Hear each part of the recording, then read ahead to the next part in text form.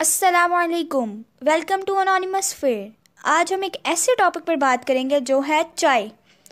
सबसे पहले तो कमेंट्स में लाजमी बताएँ कि चाय किस किस को पसंद है।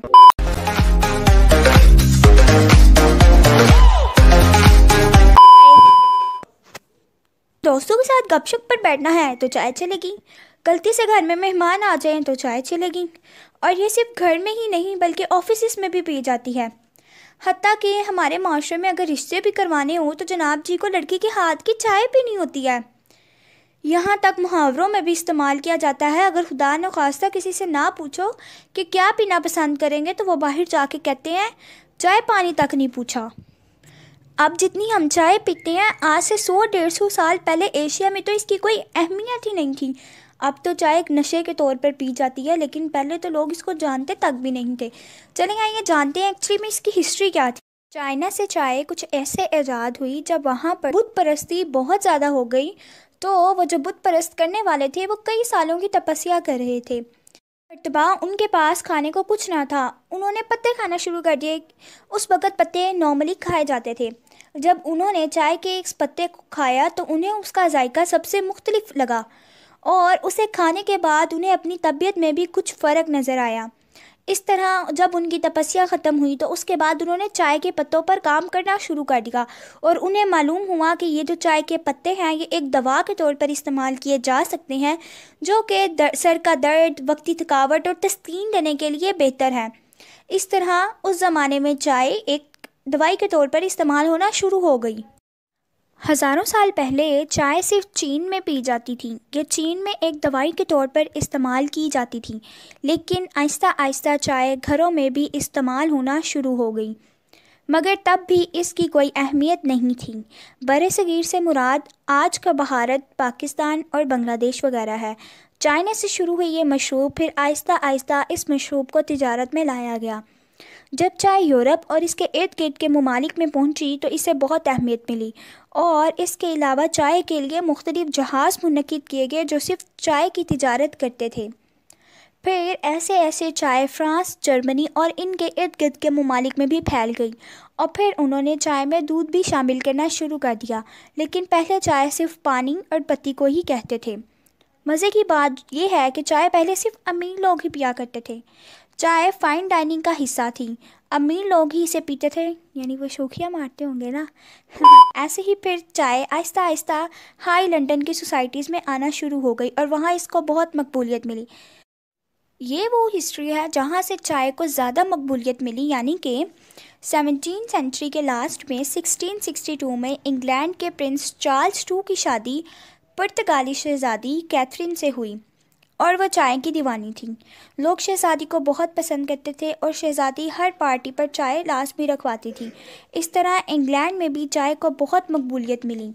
और फिर हुआ कुछ यूँ कि पहली बार टी टाइम का आगाज़ किया गया कि जब सब खवतिन मिलकर बैठकर बातें कर रही थी तो शहज़ादी ने दरमियान में चाय को मुखातिब किया कि इस टाइम हम चाय पीना पसंद करेंगे।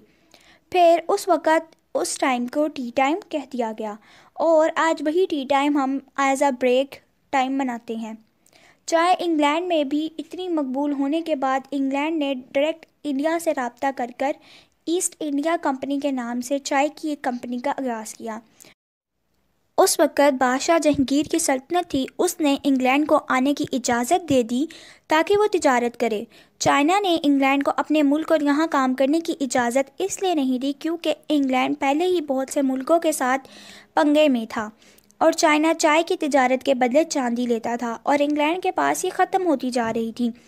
इस पर इंग्लैंड ने एक खेल खेला और चाइना को अफ़ीम की तजारत करना शुरू कर दी। आहिस्ता आहिस्ता चाइना में ओपियम यानी अफ़ीम की डिमांड बढ़ना शुरू हो गई तो फिर चाइना को चांदी जो वो लेना चाहता था, अब वो अफ़ीम ख़रीद कर उसके बदले उसको, उनको चांदी देता था। मगर इंग्लैंड में फिर भी चाय की कीमत बढ़ती से बढ़ती जा रही थी। इस पर इंग्लैंड ने दोबारा एक खेल खेला और अपने बंदे चाइना के लोगों की तरह बनाकर उसे वहाँ भेज दिए। और फिर वहाँ उसने अपने इकदाम चाय के तरफ़ किए और चाय के खेतों में काम करना शुरू कर दिया। इस तरह इंग्लैंड को मालूम हुआ कि चाय के लिए ऊँचे मुकाम और कम टेम्परेचर की ज़रूरत होती है।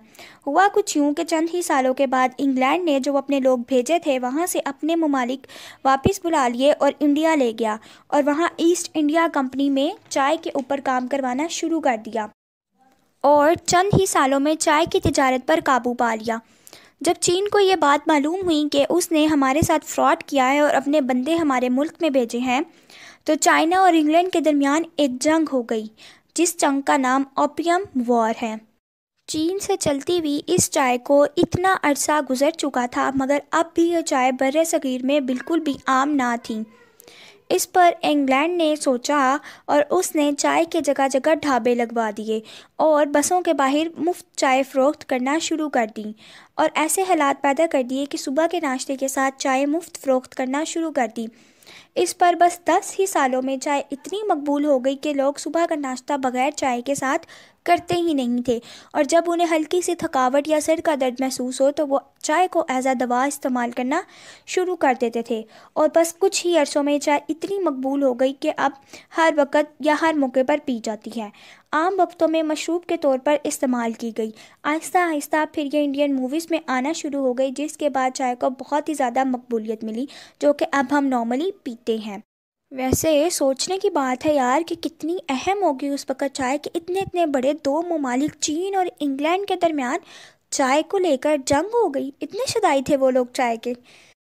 कमेंट्स में लास्ट में बताएँ कि आप में से कौन कौन चाय का शदाई है? ओ मेरा मतलब यार फेवरेट है। अगर आपको चाय की बोरिंग सी history I I mean mean, इतनी मज़ेदार हिस्ट्री पसंद आई हो तो यार चैनल को सब्सक्राइब करो लाइक करो शेयर करो। और इस तरह की दोबारा बेहतरीन बेहतरीन वीडियोस देखने के लिए मेरे साथ ज्वाइन रखें।